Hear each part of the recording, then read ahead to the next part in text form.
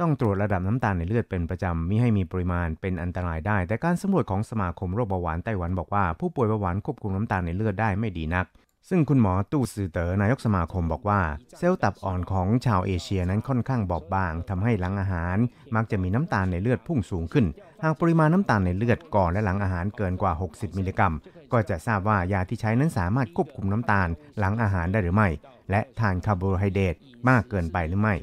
การควบคุมน้ำตาลในเลือดที่บ้านนั้นต้องทำให้ครบถ้วน จึงจะสามารถควบคุมไม่ให้โรคเบาหวานเลวร้ายลงได้ รายงานล่าสุดบอกว่า ผู้ป่วยเบาหวานประเภทที่ 2 ในไต้หวันในแต่ละวัยนั้นเพิ่มขึ้นเป็นลำดับ โดยในปี 2000 ถึง